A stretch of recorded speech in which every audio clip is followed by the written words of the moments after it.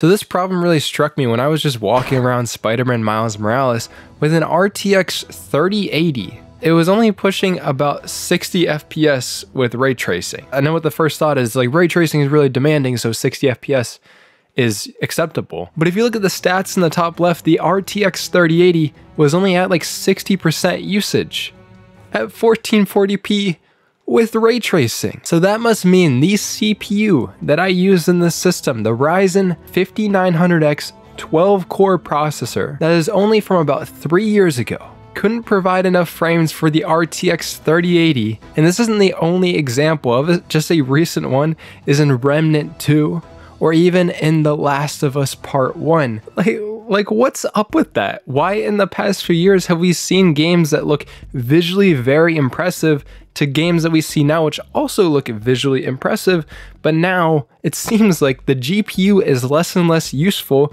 as it relies on the CPU to access its full potential. I feel like the CPU limitations in recent games is one of the most overlooked issues that is currently going on, especially in like reviews. If someone is reviewing a graphics card, they use the best CPU that they possibly can, and that will basically brute force all of the issues that games are having with CPU usage. But what if you're talking about the normal person that has a normal budget and doesn't have the absolute latest and greatest CPU, but still wants to get a recent GPU. What's even weirder is games are using even more of your CPU than ever before. Just like walking around in Cyberpunk here with the 5800X3D, so a very fast CPU.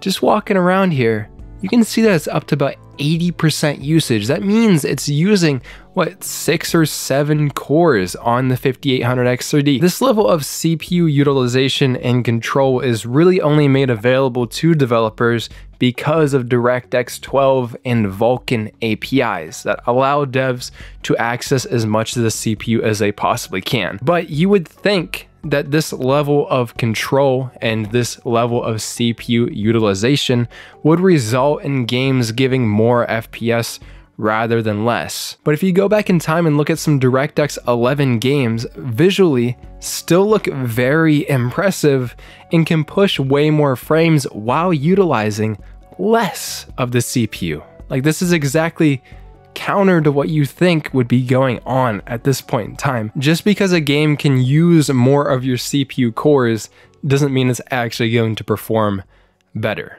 It's possible that a lot of these problems are being caused by new features that we are seeing in games. Obviously, a lot of the new games that are having CPU utilization issues are actually built on Unreal Engine 5. And we've talked about the second Remnant having CPU issues, but so did the first game built on Unreal Engine 4. So just as an example, Unreal Engine as a whole does have CPU issues and compounded this in Unreal Engine 5 with features like Nanite and Lumen, which use more and more CPU than we've previously used before with older versions of Unreal Engine 5. So just in general, the CPU usage is going to be higher and more demanding. And what's interesting, at least to me, with Fortnite, having Nanite and Lumen in the game doesn't seem to have these same issues because this isn't exclusive to Unreal Engine 5 itself. Other features that games are getting, like ray tracing, in general, uses more of your CPU than just rasterization in a game. Newer games are using higher and higher quality textures and meshes for objects in the game to make the environments and things you interact with more and more detailed. And with higher quality meshes and textures, that actually also uses more of your CPU. And that is because of the sheer amount of data that your CPU has to manage for your system. When you look at a game and it's like 100 gigabytes, your CPU has to process gigabytes and gigabytes of data to make sure that it's going into the right places. As games get bigger and bigger, they also most likely are going to use more and more of your CPU as it needs to compress and decompress all of this data. Which really gets me into the elephant in the room is this doesn't happen in every single game. And when you think about it, CPUs are just general computing devices in your system. They're supposed to be able to do everything. They probably just can't do everything very efficiently. So that means we use CPUs when there's basically no other option to compute a certain task that we want to get done. And think about this like before GPUs had hardware video encoders and decoders built into them.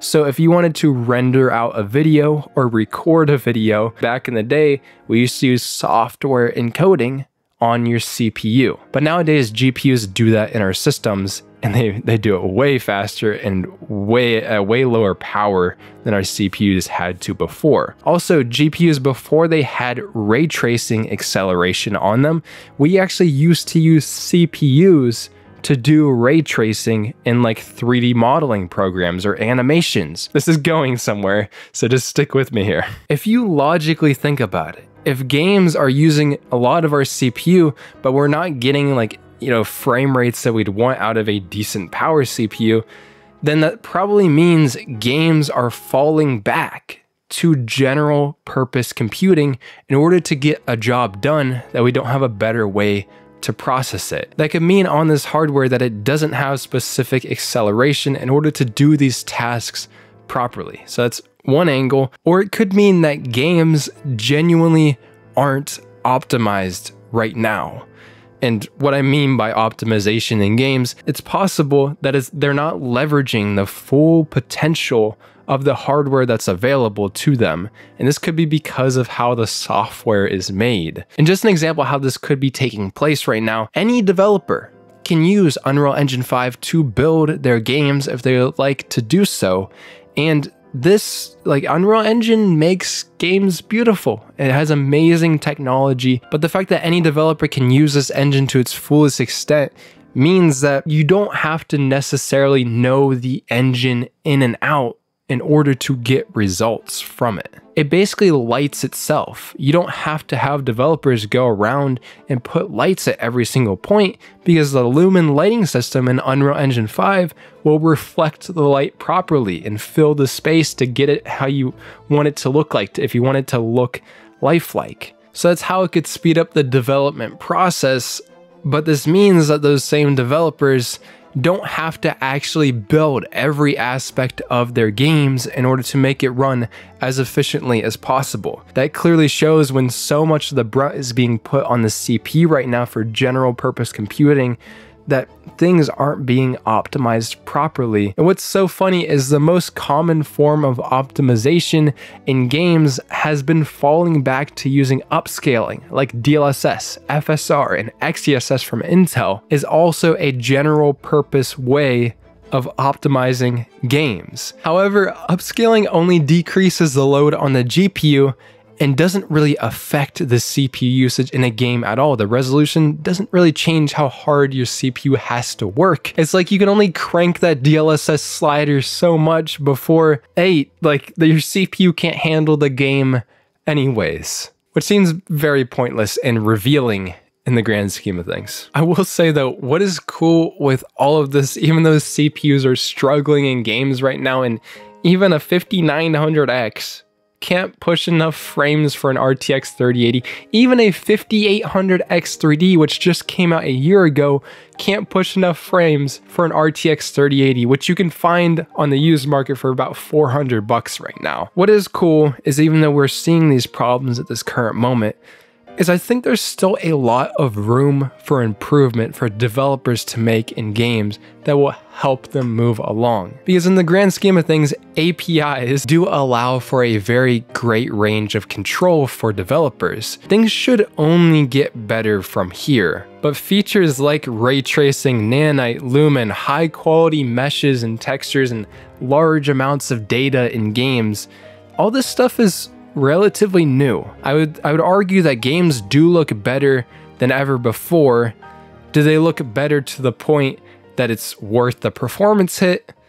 I wouldn't say so. I think there's still a lot of improvements that can be made with these technologies in order to get better over time. And I think the, the developers that can conquer that and get better are probably going to be the ones that succeed in the end of things because we don't want to see games like Immortals of Aveum, where it's like, yeah, it's very GPU demanding, but if you just have a CPU that's just, you know, like a few years old, all of a sudden you can't even run Immortals of Aveum properly. And this just can't be good for the game's health. This isn't good for the gaming industry to have games that run like freaking garbage. Typically in the past, like a CPU, you could typically buy a higher end one and it would last you for, you know, generation, maybe even like two GPU upgrades before you felt like it was necessary to upgrade your CPU that it was slowing you down. But it doesn't seem to be the case anymore. It seems like you have to upgrade your CPU in order to keep up with the demands that our games are, games are having for it.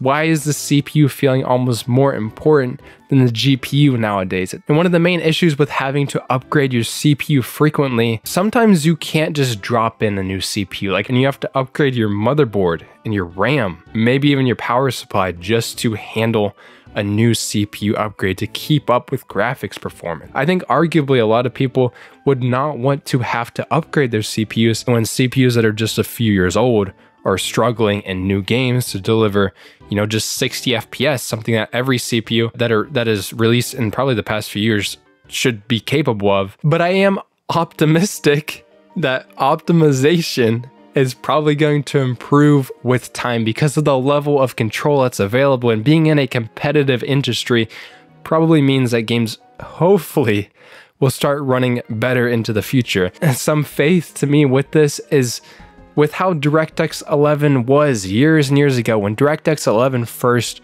released i don't think it was you know the the move to use it all the time.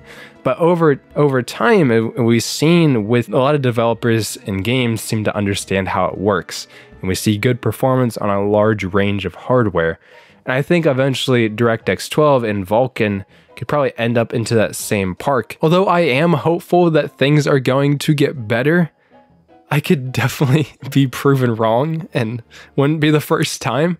But I want you guys to let me know what you think in the comments. Like, is this alarmingly high amount of CPU usage in games and relying on general purpose computing instead of, you know, more optimized processes? Is this kind of showing the current state of game development, technology, and optimization that's going on?